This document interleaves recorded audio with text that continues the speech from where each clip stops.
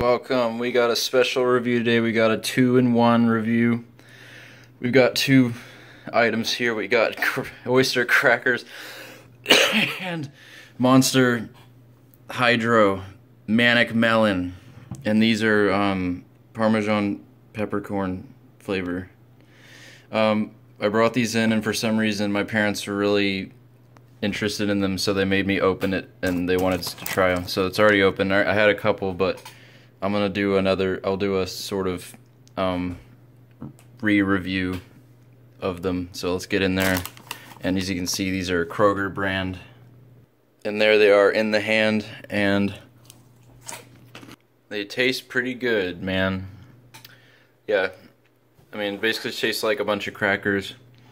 But yeah, it does have like the Parmesan flavor. It's not that strong, but it's just enough to like so it's not just like regular crackers, even though I like regular crackers, nothing wrong with that. I don't really taste peppercorn, whatever. Those are good, I recommend them. We're gonna set those aside. And we got a salty treat here, so we got the sweet drink.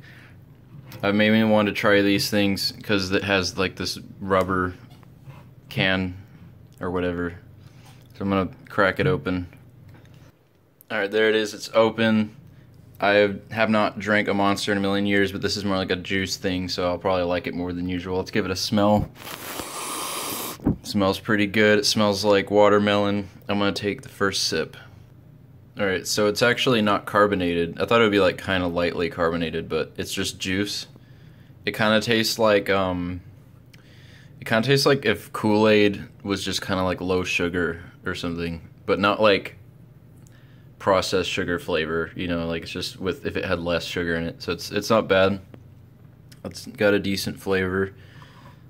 Um, I just liked this weird rubber can thing. So, but yeah, I like it. I got good treats here. I'm gonna enjoy them. Check these things out. Uh, there's other flavors of this I might try actually. There's like a couple other ones in those are pretty good. So thanks for watching the review, and I hope you enjoyed this two, this double special two in one review.